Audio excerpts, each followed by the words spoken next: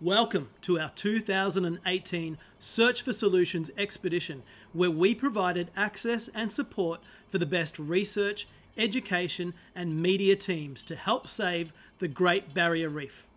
You are experiencing the latest in 360 virtual reality underwater technology that allows you to dive right beside us. And thanks to LaCie, we are able to store and deliver this content so you can see what we see and help us help the reef.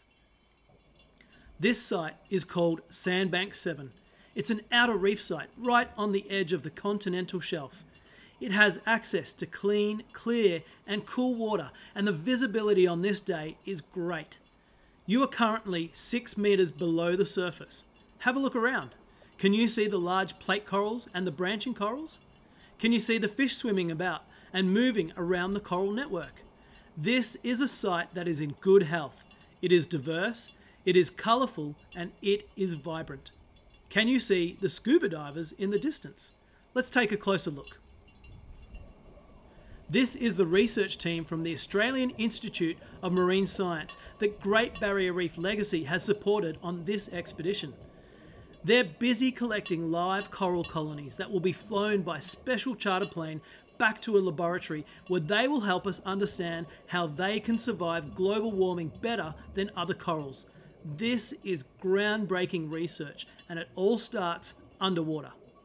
But perhaps the most exciting part of our expedition is diving at night to document one of the most impressive and important moments for coral reefs the mass coral spawning. This is where millions and millions of coral eggs and sperm are released to become the next generation of corals.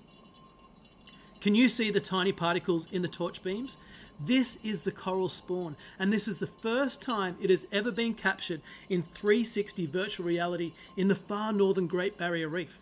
This event only happens once a year and is crucial to the survival of coral reefs, and now you too have experienced it.